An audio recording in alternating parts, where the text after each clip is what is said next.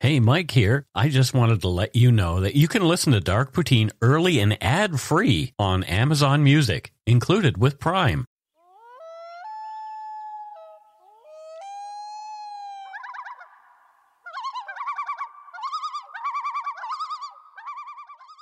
Welcome to Dark Poutine. I'm Mike Brown, creator and host. With me for this episode is my wife and this week's guest host, Carol Brown. Say hello, Carol. Hello. How are you guys? They can't answer you. I know, but I feel like they would. They probably would. They're, They're, just talking to me in their car. I'm good, Carol. How are you? I'm just on my way to work. there you go. The views, information, and opinions expressed during the Dark Poutine podcast are solely those of the producer and do not necessarily represent those of Curiouscast, its affiliate Global News, nor their parent company, Corus Entertainment. Thanks to Krista from the podcast 36 Times for reading our disclaimer this week and last. You can find Lily and Krista, our friends from Nova Scotia, and their podcast at 36times.podbean.com. I'm going to totally name drop. Uh, we met them and we had dinner with them with Lily and Krista last summer. They were very nice people, Thank you, Krista. Thank you, Lily. and I think they continue to be very nice people. I'm going to shouldn't say, I'm going to just assume they are. There you go. Dark poutine is not for the faint of heart or squeamish. Listener discretion is strongly advised. We're not experts on the topics we present, nor are we journalists. We are two ordinary Canadians chatting about crime and the dark side of history. Let's get to it. Put on your toque, grab yourself a double double and an Nanaimo bar. It's time to scarf down some dark poutine. And Scott would go om nom nom. Oh, nom, nom, nom, nom. There you go. Mmm, delicious.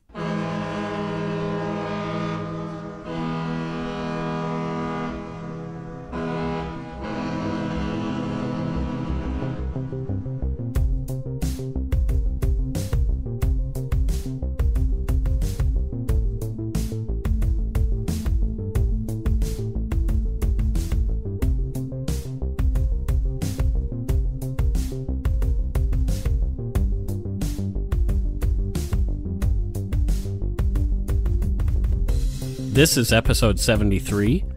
A reminder for those of you planning on going to CrimeCon but have yet to buy tickets. If you want 10% off your ticket, use our code Poutine19, that's the word Poutine, and the numbers 1 and 9, at checkout when buying your tickets at crimecon.com. We will see you there in just over a month now. So lucky. I'll be holding the fort down here, but yeah, Mike and Scott will be there with bells on. We will. So and you some can people have used that coupon too. some people have been using it and we really appreciate it. So Scott and I will uh, probably be asked back next year. Yay! Well done. Thanks, guys. Hooray. We have another giveaway from true crime author Alan R. Warren. This week, he wants to give copies of his book Last Man Standing, but he wants to give them to people who've already received a book from him. Now, just bear with us. To win a copy of Alan's book Last Man Standing this week, you have to have already won a book in previous weeks. The first dozen previous winners to email Alan at radiocub, that's cub with two B's, at gmail.com, with a screenshot or link to a goodreads.com or Amazon review that you have done of the book that he sent you, you will get a copy via Kindle in the US or a physical copy in Canada of this week's book, Last Man Standing. This week, you'll be able to hear me on House of Mystery, Alan's Something Weird Media show, on numerous NBC News affiliates across the United States. You might hear me even more than once. Oh my God, He wants lucky. he wants me to co-host with him, so there you go. nice, Alan. Thank you, Alan. Thanks, Alan. Alan. On with the show. In this episode, we're off to Prince Edward Island. Dreamy. I love PEI. So do I. From the Canadian Encyclopedia, Prince Edward Island is Canada's smallest province, making up just 0.1% of Canada's total land area. It's situated in the Gulf of St. Lawrence and separated from Nova Scotia and New Brunswick by the Northumberland Strait. PEI was known to its earliest settlers, the Micmac, as Abegwait, meaning cradle in the waves, and was described by Jacques Cartier in 1534 as the fairest land that may possibly be seen. PEI's deep red soil has always been its most striking feature, and together with the sea, the mainstay of the population since the early 18th century. 1534. Isn't that amazing? That's incredible. I saw the same red soil that he saw. It's it's beautiful. 1534. Il- uh, so cool. PEI is home to just over 150,000 residents, and farming is the main industry on the island, providing a whopping 25% of all of Canada's potatoes. They also love their lawns. Everyone seemed to have a, a one of those riding lawnmowers. Yes. Huge. Everybody, when we were there last summer, it's like, wow, everybody's got these riding lawnmowers. The island was only accessible by boat or ferry until 1997, when the 13 kilometer Confederation Bridge opened connecting PEI with the mainland in New Brunswick. We have traveled across that bridge. Mm-hmm. Its beauty, pleasant summer climate, rich history, cultural offerings, and the friendly islanders make PEI a popular tourist getaway spot. The best. We spent our honeymoon there in 1998. And last summer, we stayed in a tiny cabin, like a tiny house, Yeah. right near the sea. It was very awesome. near the ocean. We could hear the waves coming in. It was very nice to uh, fall asleep just hearing the ocean. It was Yeah. amazing. It was awesome. Needless to say that major crimes, especially murder, are very rare on the island, and they always shake the islanders up when these occur. On October 7, 1994, RCMP got a call about an abandoned 1982 Buick Regal in a field belonging to a local resident on Highway 169 near Tyne Valley, Prince Edward Island. The area was sparsely populated, and it was later learned that the car had been sitting there for days. The vehicle had been parked on a private road hundreds of meters away and out of the sight of the main roads. One thing responding RCMP noted quickly is that the license plates had been removed from the car. Someone had not only taken the time to hide the car, but removing the plates sent up red flags. Yeah, once the plates are gone or when the plates get mixed up, it's really hard to figure out what's going on. So the police in this case had to use the vehicle identification number, or the VIN, which was still with the car, to determine who it belonged to. And so in 1994, it wasn't as easy as calling up the motor vehicles branch and asking who owns this, so it might have taken a little doing Yeah. because the computers weren't so great then. No, some old DOS system that they had to search. Uh, who knows? Yeah. After the database search, a hit came back. The car belonged to a 32 year old woman named Shirley Anne Duguay from nearby Richmond, roughly a 10 minute drive away from where they'd found the car. Police began trying to reach Shirley by phone, but she was not answering, nor did she return any calls after a number of messages were left by officers. The decision was made to go to Shirley's home to see if everything was okay. Obviously, if you find somebody's car in the woods with no license plates on it and she's not answering her phone, that's probably the first thing you should do as a cop, don't you think? Yeah. Well, it's a small town, so people would know. But yeah, if cops are going to go to your house, then they're concerned for sure. When RCMP arrived, they met Shirley's father and Shirley's friend Linda there. They told investigators that Shirley, a mother of five, had left in her car to go do errands four days prior and had not returned. Uh, what? When police asked why Shirley had not been reported missing, Shirley's father told them that the family was fearful that Shirley's ex common law husband, Douglas Beamish, would swoop in and take Shirley's three youngest kids, who he had fathered. They were hoping that Shirley, who'd been struggling to make ends meet on welfare, was just with friends and taking a, nutch, uh, taking a much needed break. So she left her kids with them Yes, and then went to do errands. she'd done this before, Okay. but they were starting to worry. Yeah. Shirley had been trying to extricate herself from the 12 year relationship that she'd had with this Beamish guy. Shirley was caught in the age old cycle of domestic abuse and brief reconciliation after Douglas came crawling back. But after only a few short weeks, the violence would ramp up again, leading to another brutal attack and Shirley leaving, kids in tow. Shirley's family had begged her to stay away from Beamish, but he kept worming his way back into her life. Shirley, her kids, and Beamish were all living in Toronto when in 1991, Shirley sought and was provided a peace bond against Beamish. She fled with the children back to PEI, her home. Beamish, finding she'd gone back east, soon followed. This is not good. This is not good. He'd been badgering Shirley ever since. Now that Shirley had a new boyfriend, a local fisherman, Beamish was acting, acting even Beamish was acting even angrier. Yeah. Shirley was afraid to stay home alone when her folks, who lived nearby, were out of town. This is why her friend Linda had been there on the weekend of Shirley's disappearance. Linda told police that she'd been staying over at Shirley's place when Doug Beamish had showed up in the days before Shirley disappeared. Doug was in a rage. He and Shirley had a screaming match about their relationship, and Shirley stood her ground. Shirley did not want him back.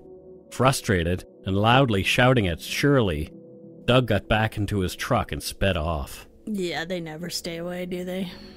Linda was asleep when Shirley told the kids she was going out on the morning of October 3rd, and they had not seen her since. Okay. She's trying to get away from him and he won't leave her alone. No. So now her car is hidden with no plates. No one knows where she is. Yeah, and he was angry the last time he saw her. This is not good. Shirley's family was very worried, more so now that her car had been found. Shirley was not with her boyfriend, and none of her other friends, family, or anyone else claimed to have seen her since she'd gone out for what she said would be a couple of hours. Yeah. Where was Shirley? I mean, PEI is not a very big place. No, and I feel like a lot of people, I mean, there's a lot of people there, but it's small enough to know that people know of the other people, like where she would be. Mm-hmm. Someone would have seen her. Yeah. She might have been driving to Summerside, which is a city, but somebody there would have seen her. Yeah, and she has friends, I'm sure. Yeah. And if she's going to for a getaway, maybe she was going to be going with her friends somewhere. Suspicion rightly fell on Douglas Beamish right away. Beamish was living with his parents since a recent stint in prison for other offenses. We are already seeing that Douglas Beamish is not of great character. This is just the danger zone. exactly. Yeah. Yeah. Police visited Doug Beamish, who was claiming he had no idea where Shirley was. Doug admitted that he and Shirley had fought often, but claimed things were calming between them. Very convenient. Yeah. Beamish told the cops that the last time he'd seen Shirley, a little less than a week before, she'd driven him to work as he was having trouble with his truck. Why? Weren't they mad at each other? Well, he was the father of three of her youngest kids, and apparently they were in this push pull relationship all the time. So and there this was, a time, uh, like a kind of a calm period there, There where were- she was dropping him off at work. Yeah, and this is what he's claiming. We haven't been able to substantiate that. Doug told police that the last time he'd seen Shirley is when she dropped him off, and that the conversation had been calm and friendly the whole time.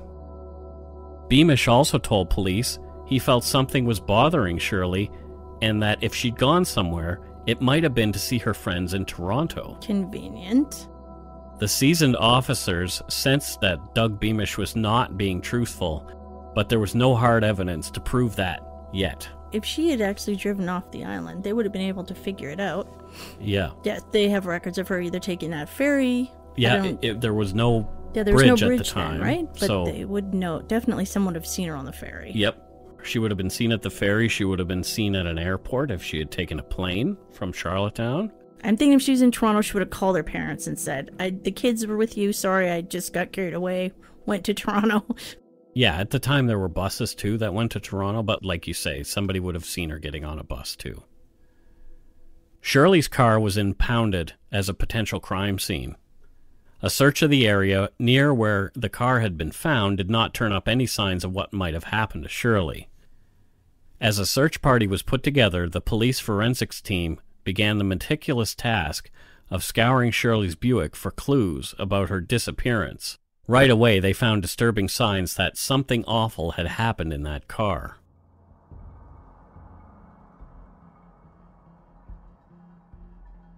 There were small spatters that looked like bloodstains on the windshield and throughout the interior of the vehicle. Many larger brownish red stains were soaked into the passenger seat. Initial testing indicated it was blood and that it was human, but whose blood was it? The specimens were sent off to Halifax for testing, along with samples from Shirley's children and other close relatives to compare. So they did what's called reverse paternity. They took her father's DNA and then her children's DNA, and they find in the middle. Yeah, That's how they did the DNA evidence. So it was 1994. Okay. This would be holdback evidence, but the RCMP knew that they had to act quickly before evidence was covered by snow during the fast approaching harsh PEI winter. Hopefully, Shirley was alive, but the amounts of blood in the car did not give police much hope. Ugh, so grim. Shirley's name and photo were all over the news. Due to the rarity of such an event, this was a big deal in the area.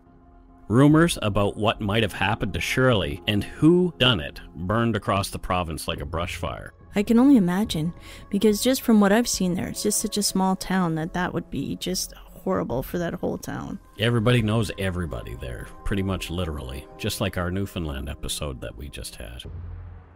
Police and searchers began to run down every tip that came in. Over the next week, local law enforcement trained search dogs, friends, and family searching for Shirley Duguay were joined by 60 cadets from PEI's police academy. It's called Holland College. As long as the light permitted, the searchers knocked on doors, searched near Shirley's home, close to where the car had been found, combed through wooded areas, and carefully explored fields, parks, backyards, and the shoreline. A helicopter searched from the air. So they were pretty serious about finding something. Yeah. They needed to find something because it's so strange someone would just vanish. especially, like I say, in such a small place. Yeah. It's a very similar story to the Samantha Walsh story. They even used psychics and hypnotized some potential witnesses with the hope that they'd be able to uncover the story of what happened to Shirley. So, essentially, people who would say, I saw Shirley, or somebody who looked like Shirley, would be put under hypnosis to see if they could bring up any more details. I kind of hoped at one point that that was that would actually work, but I think from all the stuff that I've seen, that doesn't really work. One psychic said that Shirley Duguay would be found near water and pine trees in a shallow grave. The island was covered in pine trees, and you're never more than five minute drive away from water on PEI. It wasn't much to go on. In the woods, about half a kilometer from Sh- from the place Shirley's car had been found, cops came across a pillow with what appeared to be bloodstains on it. Shirley used a pillow while driving to better see over the steering wheel, as she was only four foot nine inches tall and weighed less than a hundred pounds. Oh, she was just tiny. Just a tiny little person, yes. Nearby, they found a t shirt, also covering what turned out to be blood. And finally, close to the shirt, a shovel. Two black hairs found on the shovel were compared to those taken from Shirley's hairbrush. Sure enough, they were a match. Although telling, this would also be holdback evidence. Ugh, this is super grim. RCMP investigators were more concerned than ever that Shirley had been murdered and buried somewhere in the area. Cadaver dogs and cops looked for signs of a grave, but they came up empty. After three weeks of searching with no other clues, islanders were horrified. Was it possible this mother of five children would simply vanish without a trace? No. No.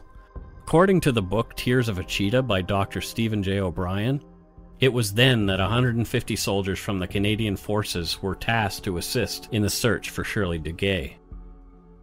Acting on a tip from a woman who'd seen a couple arguing near the road as she drove by, searches were focused on swampland and wooded area, All right, that tip came in. Somebody had seen something. or what they thought was something. Yep. On the third day of the search, in the woods about a kilometer from where Shirley's car had been discovered, the soldiers stumbled across what would prove to be some valuable evidence. They discovered a white plastic bag with the Canadian Tire logo on it. From the book Tears of the Cheetah by Stephen J. O'Brien, quote, Inside was a man's leather jacket and running shoes. Both were spattered with blood that by DNA tests matched that of Shirley Duguay, but no other person's DNA was found. In the lining of the jacket, they also found a whirl of long white hairs. But when the forensic lab in Halifax looked at these, Duff Evers, one of a dwindling breed of forensic specialists in hair identification, concluded that the hairs came from a cat and not from a human. What? End quote. When talking to Doug Beamish at his parents' place, RCMP had noted a white tomcat named Snowball living in the home. All right. It was now December. The searchers had been sent home, and six weeks had gone by since anyone had last seen or heard from Shirley Duguay.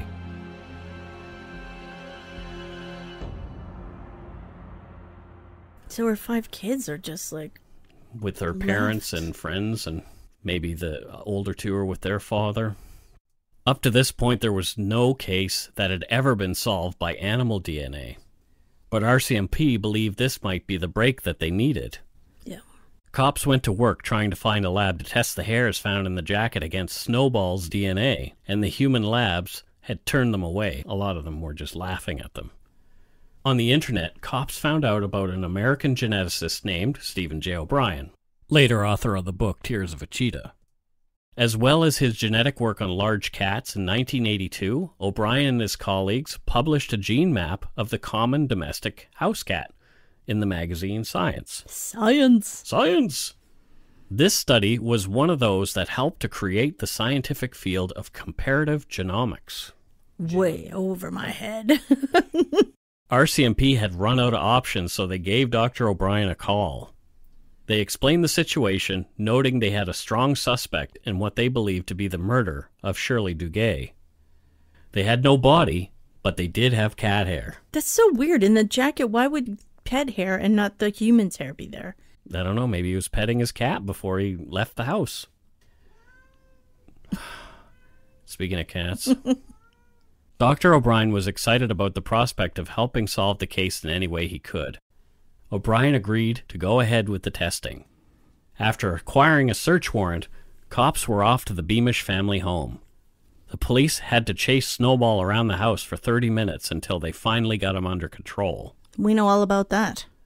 With the family looking on, Snowball was loaded into a cat carrier and taken to a veterinarian in nearby Summerside. Courageously able to find humor in the situation, Melvin Duguay, Shirley's father, told the TV show Forensic Files years later, quote, Investigator Robert Savoy told me he went down to the house and read out the cat's rights to the parents. and I said, Roger, what did the cat say? And he said, meow. End quote.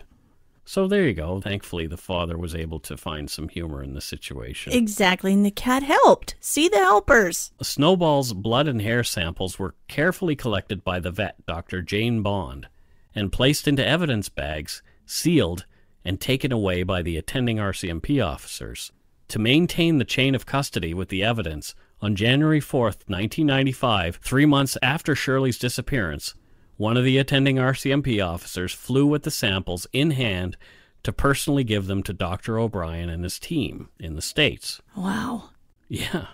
Over the next few months, the DNA in Snowball's hair and blood were analyzed thoroughly and compared against those found on the lining of the jacket. They were a match. Excellent. Other samples of cat DNA from 19 other kitties in PEI were obtained as well and compared against Snowball's and the evidentiary hairs, just to give a control group, mm-hmm. obviously, because they didn't know at the time that nobody had ever done this Yep. whether or not cat DNA would match. And Snowball had some very interesting characteristics in his DNA that really made him stand out. In fact, out of a population of a few thousand cats on the island, the chances that any cat other than Snowball owned those hairs was 1 in 45 million. That is statistics and science. Right? A perfect twin or clone would have produced the same result, but cats do not give birth to genetic twins, and no cats had yet been cloned in a laboratory at the time. Snowball, the Beamish's cat, had provided the DNA that the cops needed. Hey, that is really cool. This solidified Douglas Leo Beamish as the number one suspect in Shirley Anne Duguay's disappearance and possible murder.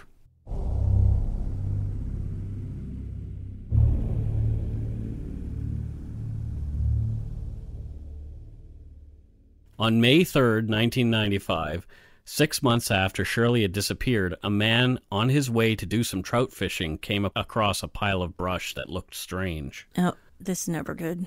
When he moved some of the brush aside, he realized he'd discovered a corpse. Horrified at this find, he called police. The site was near North Enmore, and this is a 15 minute drive west from where Shirley's car had been found, which is actually a long way away in PEI. Yeah, that's true. And remote. Very Yeah. remote. Just like the psychic had told police, there was Shirley near water and pine trees in a shallow grave. Forensics teams found the brutally battered and partially decomposed body of a woman in the grave. Her hands were still tied behind her back. Oh, so sad. As the news broke, even before they had a positive ID, police arrested Douglas Leo Beamish and charged him with the first degree murder of Shirley Duguay. They didn't want to give him a chance to bolt, and initial indicators were that it was Shirley Duguay who'd been found. The person was of small stature, like she was, Yeah, and tiny. there were some other factors that indicated it might be her. After all, there was not anyone else matching the description that the police were looking for in the area, and she wouldn't remain unidentified for long. Ten days later, dental records positively identified the body as that of Shirley Anne Duguay. The family could finally grieve, and the trial against Douglas Leo Beamish could proceed. He was held without bail. Good. Surprise. And now let's see what kind of. Just what he kind of tries to pull, I can only imagine. A posthumous forensic exam would indicate blunt force trauma as the most likely cause of death. Tiny Shirley's jaw was broken in three places, and her nose had been smashed, which would account for the large amount of blood in the car. The beating was so vicious that Shirley had aspirated one of her own teeth, which had settled in her lung. Ugh. Why? She was just so tiny, he didn't need to go to that extreme. Well, he was in a rage. Yeah. Before the trial began, a voir dire was held to determine whether the precedent setting cat DNA evidence would be allowed, as well as some of the other stuff. Sorry, I have a question. Shoot. What is voir dire? What The- was that? it's like a- voir dire. A voir dire? I've never heard that. A voir dire is just a fancy name for a preliminary hearing. Oh, okay. It's legal jargon. Yeah, Okay. essentially. So they're examining the evidence to see if it should be put into a trial in front of the jury. Got it. Okay. The results of the voir dire indicated that yes, the Crown would be able to present the evidence at trial. Nice. From court documents, the way this would be admissible is if, quote, it can be made sufficiently clear to the jury that 1. The estimates are not intended to be precise. 2. They are the products of mathematical and scientific theory, not concrete facts. 3. They do not purport to define the likelihood of guilt. 4. They should only be used to form a notion of the rarity of the genetic profile of the accused. And 5. The DNA evidence must be considered along with all the other evidence in the case relating to the issue of identification. End quote. I understood all of that. You did. I did. Good. I'm hoping. Science and math. Exactly. Yeah. But there has to be other evidence present. Yeah, that can't be the only thing. That's right. Got it. So, in other words, Snowball's DNA could be used as long as there were other substantiated pieces of evidence to support it. Like the Canada Tire bag with his jacket in it. Exactly. Got it. There were other pieces of evidence pointing at Beamish as Shirley's killer. Beamish, however, decided to take his chances and pled not guilty. I just knew it. Of course. Yeah. During the nine week trial, it came out that Doug Beamish's propensity for domestic violence was evident even before his relationship with Shirley Duguay. A former common law spouse of Doug Beamish's came and testified that she'd been beaten badly about the face and head by Beamish in a Toronto home in the mid 1980s. Beamish was drinking with the woman and a friend. Their relationship was already struggling at the time due to Beamish's brutish behavior. The women's children were in bed, asleep in another room. As soon as the friend left, Beamish began demanding sex from the woman. When she refused him, Beamish flew into a rage. He picked up a large butcher knife in the kitchen and dragged the woman by her hair to her bedroom, where he proceeded to rape the woman, knife in hand. Oh my god. Nice fella. This guy's the worst. As she struggled and screamed, Beamish held the knife to the woman's throat and said that he was going to kill her that night. When Beamish had finished, he and the woman exited the bedroom, finding the woman's kids in the living room. Ah. These poor kids. Yeah. They had been awakened by the commotion and were clearly upset about what was going on with their mom. When the woman tried to comfort them, Beamish again grabbed her and slammed her to the floor and once again held the butcher knife to her throat, threatening her life a second time, this time in front of the kids. Uh, this guy. The petrified children were sitting on the couch, watching the whole thing unfold, unable to do anything to help. Beamish said he felt dirty and decided that he needed a bath. At this point, What? he took the knife with him into the bathroom. From court documents, quote, the woman testified that while he was in the tub, he yelled for her to come into the bathroom. When she did, he grabbed her by the hair and pulled her down into the tub and bit her on the face. He told her not to bother trying to call for help because he had cut the phone wires. She checked and found the wires were in fact cut. End quote. And bit her on the face? Bit her on the face. I mean, everything else is awful too. And, uh, yeah. A family member of Beamish's was called on by the Crown to testify about a letter he'd seen Douglas Beamish present to Shirley in the summer of 1992.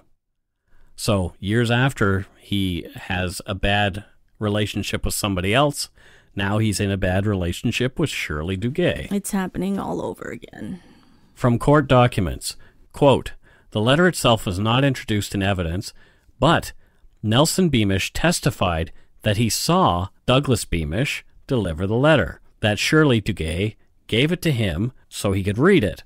According to Nelson's recollection, it stated the writer did not know why Shirley left him and that he wanted her to return and try to work things out. The writer went on to say if they could not be together, there was no point in living and he was going to kill himself, Shirley, and their three children.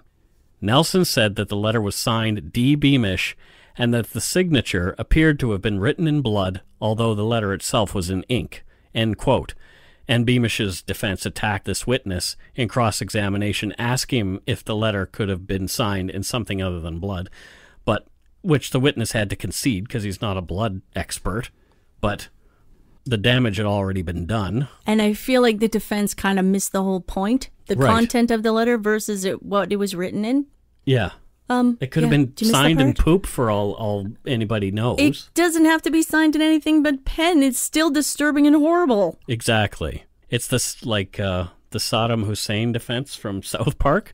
Don't look over here, look over there. Yes, just ignore that. Ignore the content. Ignore the fact that he said he was going to kill himself, Shirley, and their three children. It's I- so frustrating. I don't know. Sometimes legal stuff is just madness. yes.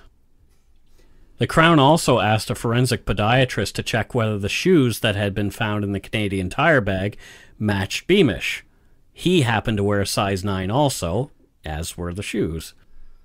After obtaining a search warrant, plaster casts were made of Beamish's feet.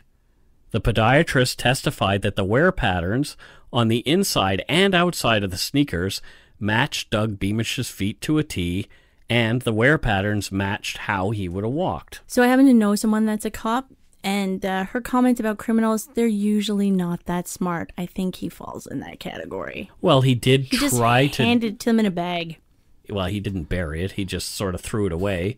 PEI is a very small place, so yeah, I guess you're right. He did kind of hand it to them. They Yeah. had to look first. They had to look for a bag where his jacket, his shoes, and his cat's hair were all in there for them, all wrapped in a package. Right. Beamish's denials of the ownership of the leather jacket that had been found soaked with Shirley's blood and containing Snowball's fur fell flat. Police obtained a photo of Beamish wearing an identical jacket taken 24 hours before Shirley went missing. That's incredible. I didn't have that jacket. That jacket that you found isn't the one that I had on. And look, 24 hours before, I was holding my cat wearing this same jacket. Yeah. A jailhouse informant came forward. He actually wasn't holding the cat. No, I'm just saying. that would have been a better photo. yeah, there you go. Again, just handing it to the jury. Sure. A jailhouse informant also came forward stating that Beamish had admitted to killing Shirley to him. Even though jailhouse confessions are suspect, given the amount of detail that the informant had, he testified for the Crown against Beamish. That's incredible. Even some of Beamish's out of court statements to a news organization and his own family members came back to haunt him. All right. All this and more taken together with the evidence that was given to the court by Dr. Stephen J. O'Brien in regard to Snowball's DNA being on the jacket found with Shirley Duguay's blood all over it are the things that ultimately sank Douglas Beamish. Yay. Thanks, Kitty. Beamish's trial attorney, in what seemed to be a Johnnie Cochran moment, emotionally told the court, Without the cat, the case falls flat. Ugh. That's just, uh, Isn't that stupid? yeah. And uh, Well, Well- what about the blood and the shoes and the jacket and the. and him in the photo, and the fact his whole history's just been violence, and he loves hitting people in the face. Exactly. The jury obviously didn't see things the same way that Beamish's attorneys did. They found him guilty of murder in the second degree. Hooray! Although he'd been charged with murder in the first degree, uh, too much time had passed between the writing of the apparently blood signed letter of murderous intent for the jury to feel comfortable finding Beamish guilty of first degree murder. I guess that's one of those legal things where they're like, we know we can really get him on the second, so let's just get him with a second. But we all know deep down it was first. Yeah. In legal and forensic circles, it was a huge win. This was the first time ever that animal DNA had con- convicted anyone of murder. Awesome. There was finally an iota of justice for Shirley Duguay. Although all five of her children were left motherless, and the three youngest were left without a father as well, it was justice in the eyes of the law. Yep. Douglas Leo Beamish was sentenced to life in prison with no chance of parole for 18 years for the murder of Shirley Duguay in July of 1996. Of course, Beamish appealed, maintaining his innocence the entire time, but lost both appeals. Got it. The appeal court actually did agree that the testimony from the previous common law spouse was prejudicial, but it wasn't enough to warrant a new trial or to overturn Beamish's conviction. In 2013, Douglas Beamish was up for parole. Oh, Still denying his guilt, Beamish's application for parole was denied. perfect. From The Guardian, a PEI newspaper, quote, in its report, the parole board said Beamish was deemed to have a medium level of motivation and low reintegration potential. The board said his conduct in prison appeared satisfactory, but was described as demanding and confrontational with a negative view toward the justice system. Although he didn't have a history of institutional violence, the board had noted he had numerous charges for disobeying the rules and had seven disciplinary convictions in prison. Those included 10 refusals to give urine samples. How tough is he going to be in jail? Like, he beat up someone, killed someone that was like under 100 pounds. Yeah. Like, he's not going to be tough in jail. I like that he got it satisfactory. He got a C for showing up to jail. Yeah, there you exactly. Beamish had two suspensions from the prison's education center, and in May, he made inappropriate comments to a female correction officer. End quote. Shocking. Probably using Don't even sexist language. Exactly. yeah, Not surprising. not surprising. A few other factors were at play as well. Beamish had been uncooperative with his case management team behind bars, and a psych assessment given to him the year prior said he represented a low to moderate risk for violence toward the general public, but was an elevated risk to intimate partners. Yes. So that leopard did not change his spots. Yearly, in December, Islanders are reminded of Shirley's case and others who were murdered by domestic partners. The PEI Advisory Council on the Status of Women hosts an annual memorial service to mark Canada's National Day of Remembrance and Action on Violence Against Women, and they do it in December around the same time as the anniversary of what happened uh, at the École Technique. The, So around the 12th, I think. The 6th to the 12th? Yes, I believe Yeah. it's around then. Around the venue, they have red painted wooden silhouettes, each with a plaque, commemorate a number of the women murdered in the province over the years, and they stand as what they call silent witnesses. There is one for Shirley Duguay. One slogan they used in 2017 implores action. Don't stand by, stand with. Everyone has a part to play in ending violence against women. Yeah.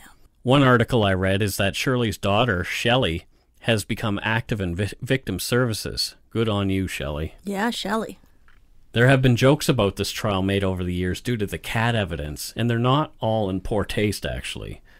My favorite being that Douglas Leo Beamish didn't have a snowball's chance in getting away with Shirley's murder. Is it okay to laugh? Yes, that's the point. I know it's a joke, but still. I'm hoping that Melvin Duguay, Shirley's dad, who also showed a sense of humor about the case, might be laughing somewhere now. He passed away in 2005. He did mention it before, so I'm sure he understands. Yeah, I'm sure he got it. Like he Yeah. said, what did the cat say? Meow.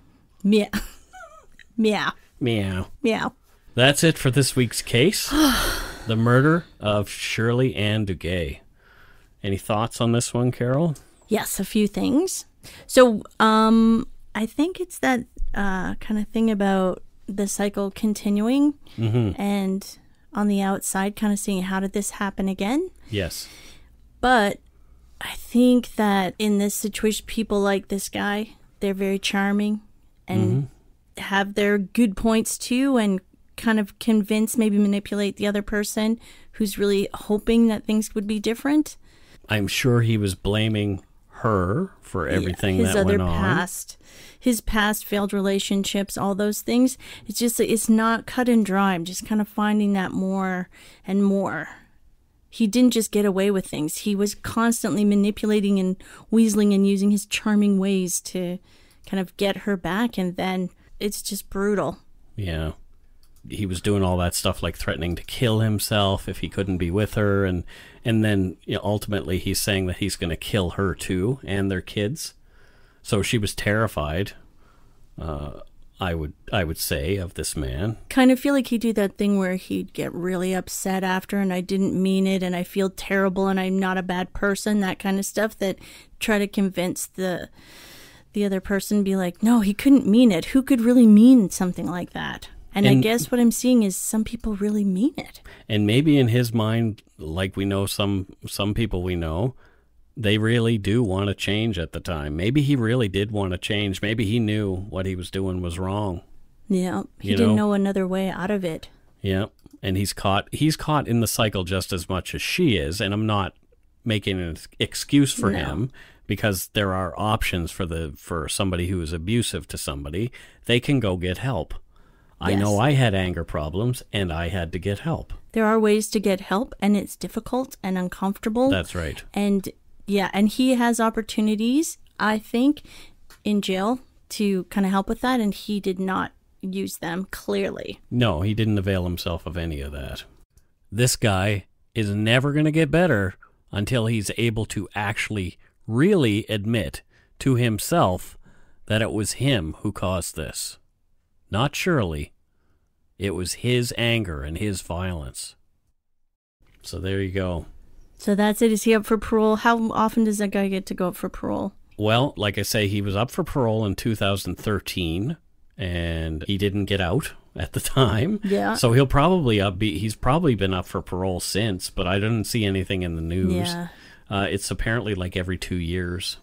So yep it's just a matter of time before he gets into that groove of this is the next hoop I have to jump through so I can fool these people into giving me parole. Because that's what we see over and over and over again. Finally, they kind of figure it out and they're paroled because, oh, okay, I jumped through all those hoops, even though I didn't really change anything. I just said the words that you want me to say. Yes, I did it. You know, we've Yeah. seen it over and over. let's just hope he's not a hoop jumper Let's hope he's not a hoop jumper. still be difficult in jail and they'll be just like no no reason to let you out Exactly. All right. Before we go, we want to say thank you to our patrons. patrons Patrons. patrons Patrons. providing patronage April Phelps from Astorville, Ontario. april thank you Another April. april yes April. April Showers. Betty Holbrook from Freedom, Wyoming. freedom wyoming Yeah. Oh my god, From it sounds like a great Wyoming. place. And it looks like uh, the Minds of Madness podcast, aka Tyler and Beck, have raised their their patronage uh, to uh, another level. So thanks, guys. Guys, thank you. Much appreciated. Enjoy that, and I really enjoy your Minds of Madness uh, food page there on the Facebook. Oh, I'm always yeah. seeing good things And- there. Carol has something to say to Tyler about the uh, air fryer. Um, apparently this was your suggestion to Mike to get an air fryer. Yes. Best suggestion ever. We've made such good food, and the whole house isn't all hot because it's in a tiny air fryer. there you go. It's awesome. Anastasia Martins from Anastasia. Surrey, British Sorry, Columbia. just down the street. Hey, neighbor. Just down the street. It is literally just down the street, but I'm not telling you where. Don't say the address out no, loud. I would never do that. I know you wouldn't. Tamara Bishop from, oh my God, wow. Gannoke? Gananoke. Oh, Gananoke, Ontario. from Gananoke, Ontario. Okay. Tamara Bishop. Look at that. She plays chess. Yes. Someone just named Jennifer. Jennifer, Jen Jen. She came in at the $5 pledge place, but she did not give her name or address. So if you want stickers or something, go back, Jennifer, and edit that, or just uh, We'll message send you me. a sticker, Jennifer. We'll send you stickers for sure, because you you've earned them. Unless you don't want them, which is cool. That's, cool too. Not everybody wants stickers. So Jennifer, what do you think Jennifer's last name is? Because she's just saying Jennifer Her name is Jennifer. Benifer. is it Aniston? Is it Jennifer Aniston? Jennifer Aniston. Oh, for sure. She She's- would want so- stickers, though. Brad Brad Pitt's ex-wife before Angelina Jolie. Yeah, that's all sad. Yeah. We're sorry, Jennifer, Jennifer. Benifer, Ben Affleck. He. oh, it's Oh, maybe it's Ben Affleck's wife. Could I be. think they also broke up. Oops. This all gone sideways. Sorry, Jennifer. If you want stickers, you know what to do. We'll send them to you. You do. Uh, Libby Green I like that name, Libby. from Glasgow. Lancashire. Great Britain. Yeah. Great Britain or Great Britain, as it's properly pronounced. GB. From GBs. Robin Gill. She's some, from somewhere in Canada because her her uh, email address is a .ca. So Robin Gill, She Hmm. comes from a long line of fishermen. a long line of fishermen, or she could be a fish. She's the fish. She's like a mermaid. She Robin, Robin Gill. Gill, the mermaid. Where's the mermaid from Atlantis?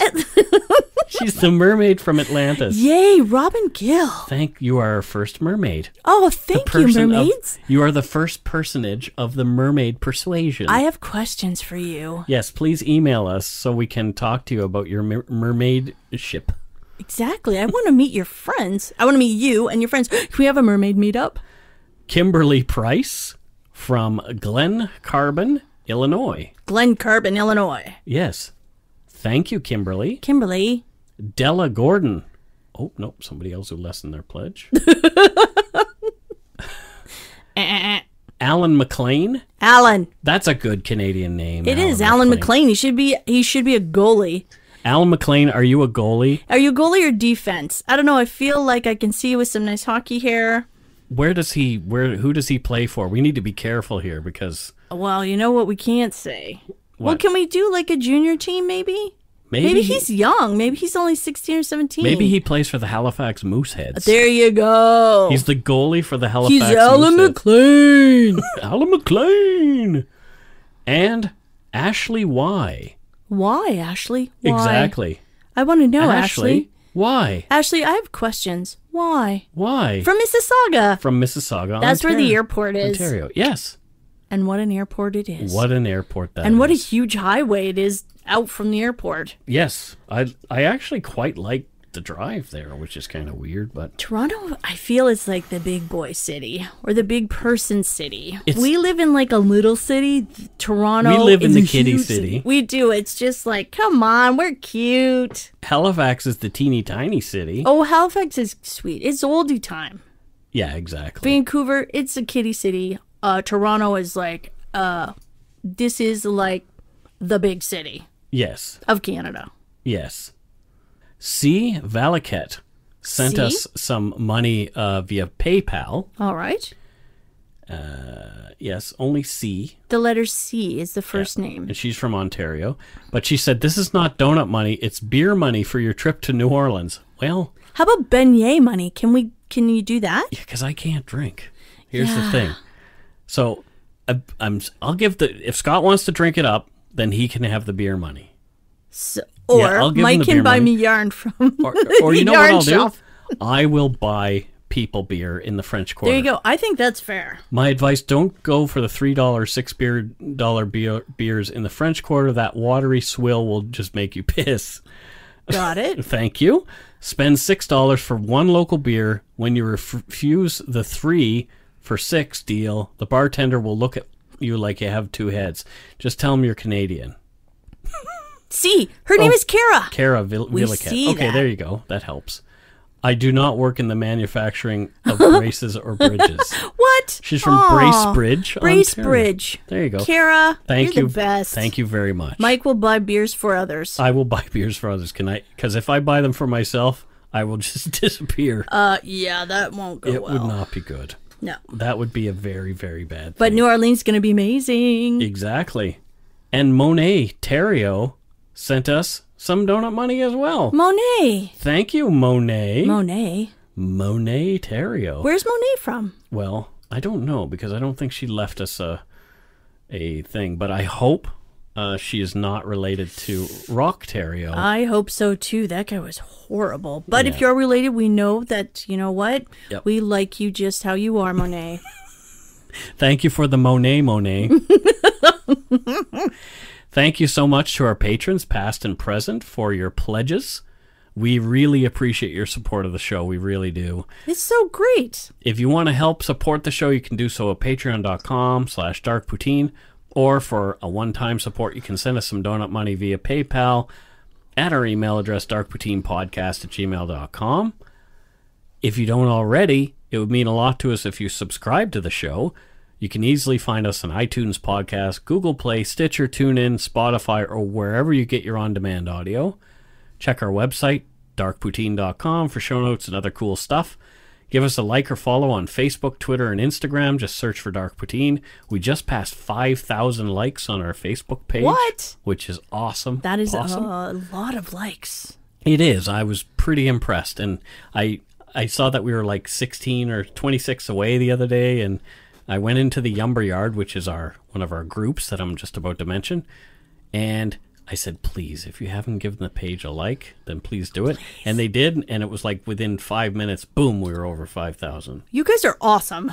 They are awesome You got thumbs ups all over. Um, as as we mentioned, our closed Facebook groups, uh, the Yumber Yard, the Barnyard, and the the Craft Barn, The craft barn. uh, are all kind of fun places to hang, come hang out with uh, Carol, myself, Scott, Joanna, Joanna, she's in there, man. and other cool good eggs Some from the meetup people we met. community. Yeah, yeah, so from yeah, Calgary, from Victoria. there's people from all over. There's even There are. someone from There Ice- are. Iceland. um, I saw someone walking their dog today in Denmark. Exactly. It's so cool in there. I love Yeah, it. we have- International. We have a great time. yeah. Speaking of international, we have a promo this weekend. It's from Sinead at the Mens Rea podcast.